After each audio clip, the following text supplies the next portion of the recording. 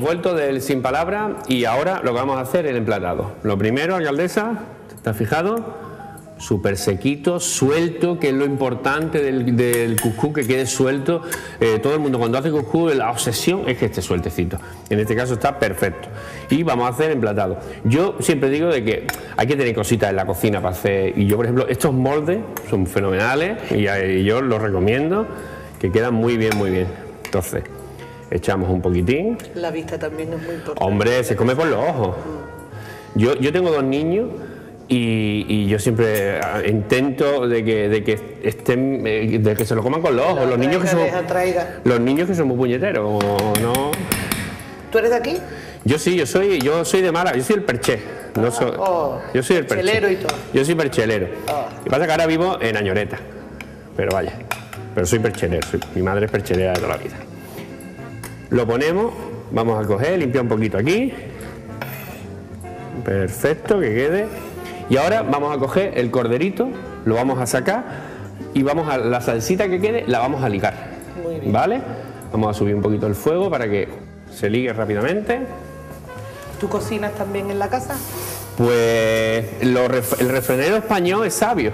Sí. En casa del herrero, cuchillo de palo. palo, ¿no? Eso está claro. Y encima yo tengo la suerte que mi mujer es cocinera. Anda. la salsita que nos ha salido la vamos a coger y la vamos a echar dentro de la olla. ¿Para qué? Pues para ligarla un poquitín. Para que esté un poquito ligada. Así. Perfecto. Y el corderito lo ponemos aquí en tabla.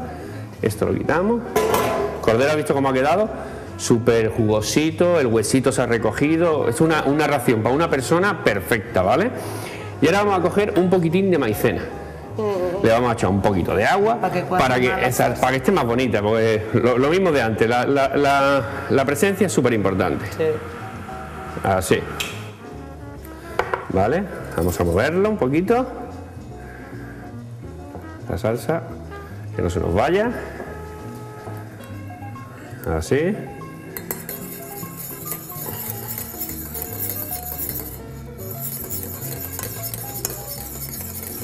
Ahí la tenemos.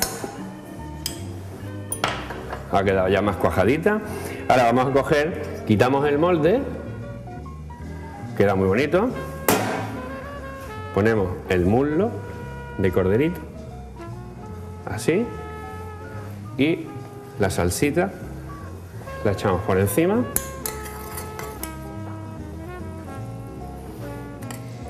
Huele bien, ¿eh? ¿Lo hará en casa, alcaldesa? El cordero me parece a mí que no. Bueno, pero lo podemos cambiar por un chivito de aquí. Eh, Tremendo. Yo te voy a decir la verdad, he intentado encontrar chivo, pero no he encontrado. Si no te hubiera hecho chivo. Los chivos hay que Y ahora, sean chivos de confianza. hombre, Que no sea, vamos, por lo menos. yo es que en mi restaurante tengo una, una de mis camareras que su padre tiene chivo. Que no sean ni demasiado grandes ni demasiado pequeños. Claro. Si no saben. Le ponemos un poquito de pimentón, aparte que le da color, le va a dar mucho aroma al plato, ¿vale? Y un poquitín de perejil. Y como lleva las almendritas, que es de la zona, le vamos a poner unas poquitas de almendra por encima. Aquí en la zona tenemos de todo. Aquí de todo. Y ahora sí le pone un vasito de vino, de coca, está por ahí vinillo del terreno. Y aquí tenemos un corderito muy bueno, ¿verdad? Con muy sencillo y la verdad que queda eh, un plato perfecto para, para- para cualquier persona y cualquier momento. ¿De acuerdo? Venga.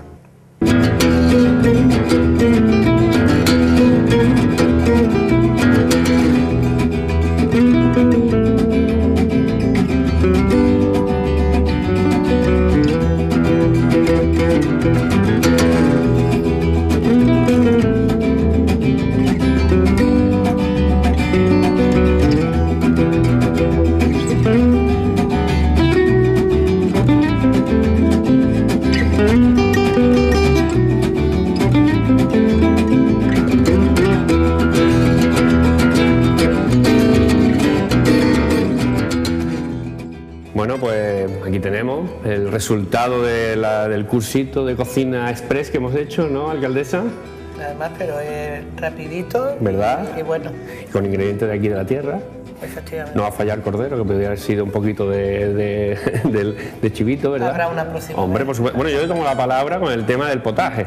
Potaje. A mí me encanta hacer de pinche también, ¿eh? Tortillicas de bacalao. ¿con Hombre, por supuesto. Pues nada, pues simplemente eh, agradecidísimo de la compañía. Gracias a vosotros por invitarme. No, hombre, He pues, tomado nota de la un honor, receta. un honor. Lo que quiero es que me llames y me digas que la has hecho. ¿Vale? Ok. Pues nada, alcaldesa, hecho. un, eh, un placer total. Placer es mío. Y a vosotros os espero la próxima semana eh, con otro plato perfecto.